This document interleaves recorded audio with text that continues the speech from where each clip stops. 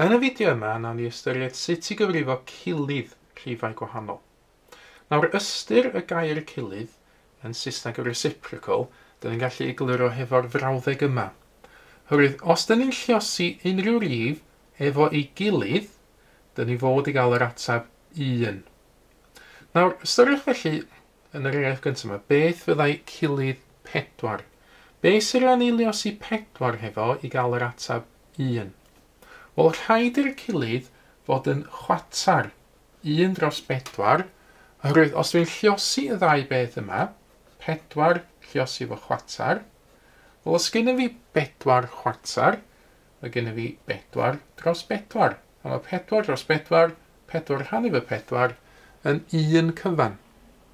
Mae'r un un syniad yn gweithio efo unrhyw rif cyfan fyddai gyfrifo i gilydd drwy sgwennu un dros yr hif yna.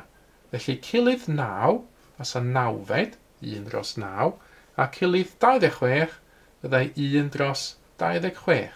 Os ydyn ni'n lliosi hein, dyn ni'n cael 1 cyfan.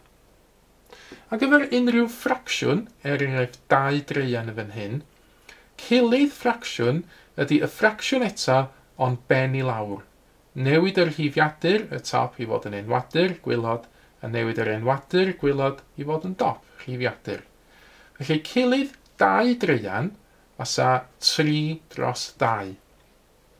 Y rheswm y hyn yn gweithio, os dwi'n dwi trio lliosi y ddau yma rwan, 2 dreian lliosi 3 dros 2, pe dwi'n lliosi ffracsiynau, dwi'n lliosi y ddau rifiadur, y ddau dop, 2, 3 yn 6, a dwi'n lliosi y ddau enwadur, y ddau wylod, 3, 2 hefyd yn 6. 6 rhan efo 6 yn un cyfan. Felly eto, cilydd 2 dreian ydy 3 dros 2, oherwydd lluoswch ein, gewch chi 1 cyfan. Mae hyn yn gweithio efo unrhyw ffracsiwn, felly cilydd 7 dros 9 byddai 9 dros 7, y ffracsiwn ben i lawr, a cilydd 1 dros 8 byddai 8 dros 1. 8 rhan efo 1, o'r arall ysgwennu hynna, a so just 8 cyfan. Hefo rhif cymysg fel yma, un cyfan a chwatar, be sy'n rhaid i wneud ydy newid y ffracsiwn i fod yn uh, newid yr rhif cymysg i fod yn ffracsiwn pendrwm yn gyntaf.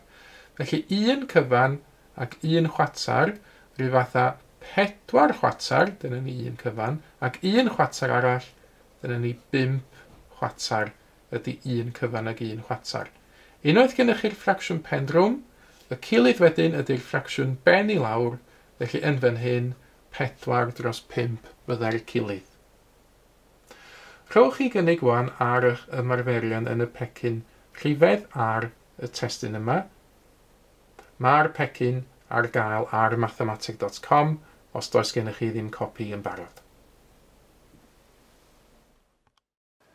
Mae mwy o fideos adolygu ar gael ar ein sianel YouTube Adolygu Mathemateg.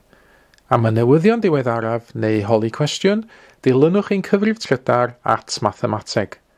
Neu ewch i'n gwefan www.mathemateg.com am fwy o adnoddau adolygu.